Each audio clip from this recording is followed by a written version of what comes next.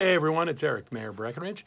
It's uh, Wednesday, 22nd of April. Happy Earth Day, 50th uh, anniversary Earth Day.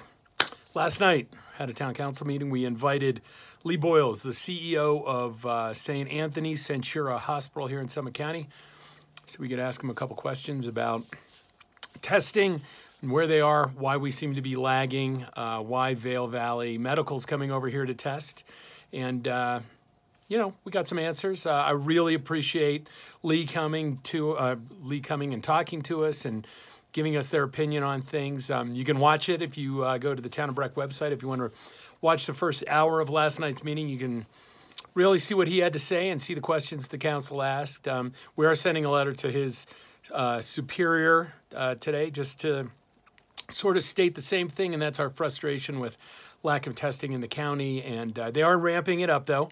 Um, they're going to have a press release with a phone number that you would call uh, if you have mild or moderate symptoms, and you can uh, call, talk to a doctor, schedule a test. In the meantime, Vail Valley Medical is coming over here on Tuesdays and Thursdays. Um, there's a website for that also that you can go on and sign up. You can get tested by Vail Valley Medical, who's really made some huge strides in the whole testing realm. So, uh, yeah, that's some great news right there um, on the testing front. Still looking at uh, moderately starting to open. And when I say moderately, I mean really tiny, tiny opening starting next Monday, um, followed by some more openings on uh, the 4th of May, followed by potential openings for restaurants and bars in the middle of the month. There's been some uh, discussion about personal services, haircuts, tattoo parlors, things like that. Do not jump the gun.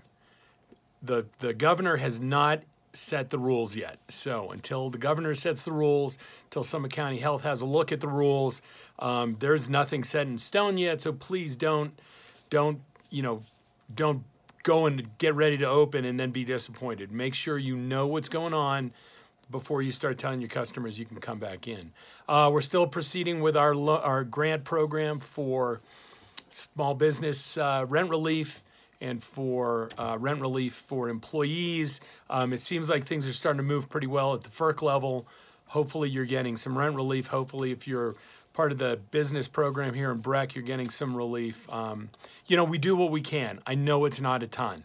I know for some of you, the, the amount of money that the town is offering just isn't enough. We get that.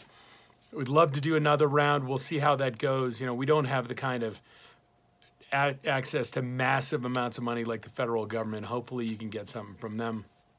Anyway, uh, that's the update for today. I hope you're all doing great. Uh, stay safe, keep your circle small, wash your hands. I know it seems like things are starting to get better, but this is the beginning of, you know, potentially the first round of this thing, the beginning of the end of the first round.